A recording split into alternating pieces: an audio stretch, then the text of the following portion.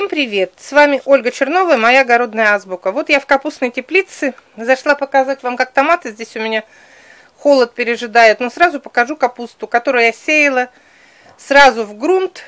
Она взошла уже давно, просто мне некогда было рассказать о ней. Вот кто следит за всеми моими видео, видели, как я сеяла вот здесь капусту. Ну, неделю, может быть, 10 дней назад, не помню точно. Эту капусту я сеяла россыпью, можно сказать, как загущенные посевы. И я ее буду потом, сейчас скоро уже, пикировать в открытый грунт. Сейчас у нас, вот сегодня было 4, сейчас 5 градусов за бортом. Здесь 10 градусов. Но даже если будет вот ночью завтра, послезавтра 2 градуса, а здесь будет 5-6, не укрывать, ничего делать я с ней не буду. Капуста не боится холодных температур. Она любит холод, и во время вот этих похолоданий она еще лучше, больше крепчает, она делается коренастой и не вытягивается.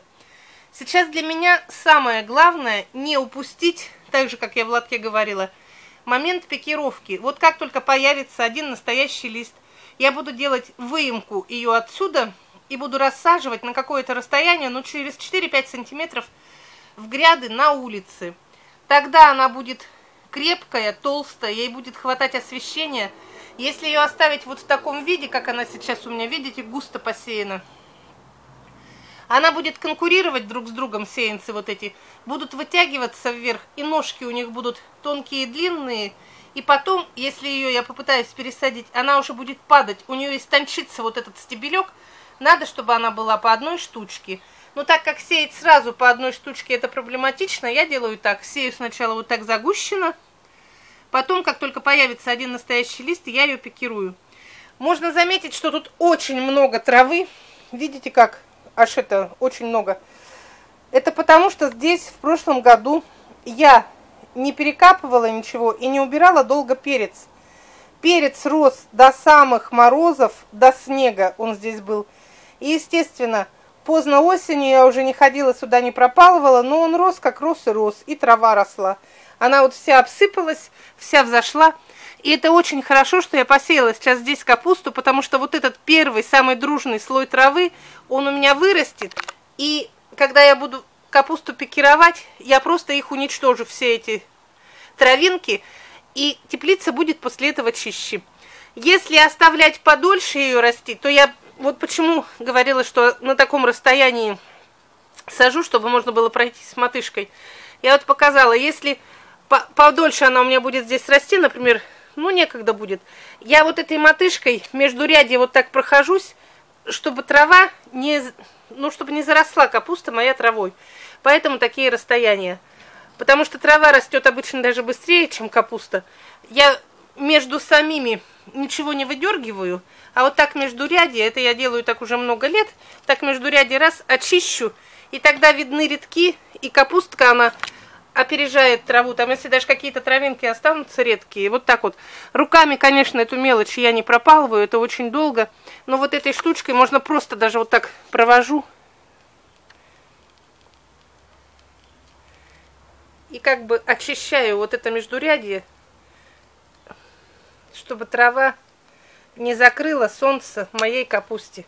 Видите, как быстро и чисто все. Поэтому всегда оставляю вот такие широкие бороздки. Видите, уже наметилось, видно именно, что здесь капуста, нет травы. Вот здесь можно вот так везде провести. Это быстро, 3-5 минут и все. Никакую прополку не делаю. Хочу сказать про схожесть. Вот это у меня... Сейчас посмотрим, какая капуста. Это подарок. Зашла очень хорошо и всхожесть разная. Почему я сею всегда побольше? Видите, прям по много, по много густо. Потому что бывает разная всхожесть. Вот это взошла хорошо. Вот эта капустка взошла пореже. Видите? От одной до другой. Вот одна, вот две. Через сколько-то сантиметров еще. Но и тут сразу видно, что очень-очень реденько. Хотя я сеяла так же густо. Если бы я не посеяла очень густо, их бы здесь вообще не было. Последние два ряда капусты нет вообще. Вот это значит, что всхожесть семян разная. И если вы собираетесь сеять капусту вот так вот, массовые посевы, сейте лучше густо, погуще, потому что семена дешевые, их можно засыпать хоть сколько. Сейчас посмотрю, которая хуже в схожести. Вот это зимовка. А в том году не взошла сибирячка. Вообще вот один квадрат не взошла ни одна сибирячка. Вот хорошо взошла капуста. Сейчас посмотрим, какая. Итак, о, июньская. Вот прекрасно взошла ран, ранняя июньская капуста. Ее сразу видно, видите, она выгодно отличается от других. Вот четыре ряда. А те уже не так. Все. Это был вот обзор моих всходов капустных, которые я показывала. Кому интересно, кто еще не сеял капусту, отмотайте назад. Ну, дней на, на неделю, дней на 10. Там я показываю, как я делаю бороздки, как поливаю, как сею.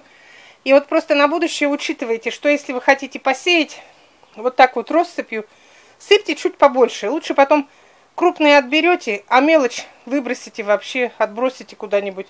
Потому что капусты тоже всходы разного качества. Сейчас дам сравнение вам. Вот видите, есть вот такая крупная, прям толстенькая. А есть некоторые, попадутся тонкие такие, что их оставлять не захочется. Поэтому лучше, чтобы было так, чтобы у вас было из чего выбрать. Крупные выберите, а слабенькие, которые взошли позже или которые еще только выклевываются – их брать не нужно, значит рассада будет слабая и болезненная. Все, до свидания. С вами была Ольга Чернова. Это обзор посева капусты в холодную теплицу в ранние сроки. До свидания.